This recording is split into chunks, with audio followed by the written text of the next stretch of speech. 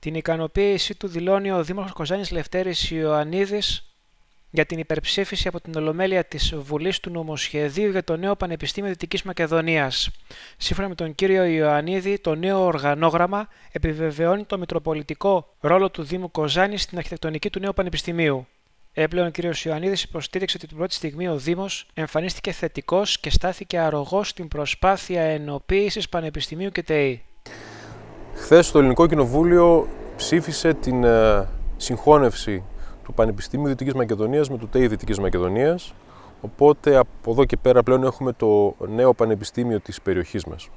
Κατά την άποψή μας είναι μια θετική και σημαντική εξέλιξη για την ευρύτερη περιοχή με, και όχι μόνο με ποσοτικά χαρακτηριστικά, αλλά κυρίως με ποιοτικά χαρακτηριστικά, μιας και πιστεύουμε ότι το νέο Πανεπιστήμιο της Δυτικής Μακεδονίας θα πρέπει να διαδραματίσει σημαντικό ρόλο στην διαμόρφωση του νέου παραγωγικού μοντέλου της περιοχής.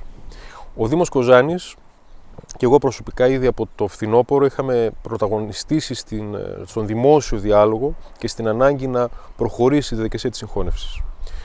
Ε, και είναι ένα σχέδιο συγχώνευσης, αν θέλετε η ίδια η συγχώνευση απολάμβανε και της ε, θετικής αποδοχής από όλη την ακαδημαϊκή κοινότητα.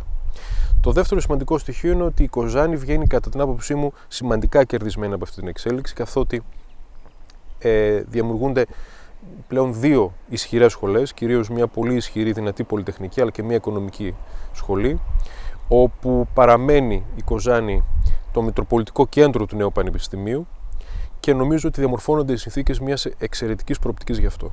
Δεν είμαι αυτός ο οποίος θα ισχυριστεί ότι πλέον έχουμε ένα μεγάλο και δυνατό πανεπιστήμιο, αλλά πιστεύω ότι έχουμε τις βάσεις για να χτίσουμε ένα καινούριο, ένα μεγάλο, ένα δυνατό, βιώσιμο πανεπιστήμιο. Έχουμε πολλές φορές ότι η Κοζάνη βρίσκεται σε μετάβαση, ότι η Κοζάνη βρίσκεται σε αλλαγή για να μπορέσουμε να διαδραματίσουμε, για να, μπορέσουμε, μάλλον, για να μπορέσει αυτή η αλλαγή να είναι ομαλή, να είναι βιώσιμη και δίκαιη, απαιτούνται τα αναγκαία εργαλεία. Και όπως έχει δείξει και η ευρωπαϊκή εμπειρία, η τριτοβάθμια εκπαίδευση στα πανεπιστήμια πάντα δημιουργούν και διαδραματίζουν σημαντικό ρόλο σε αυτό.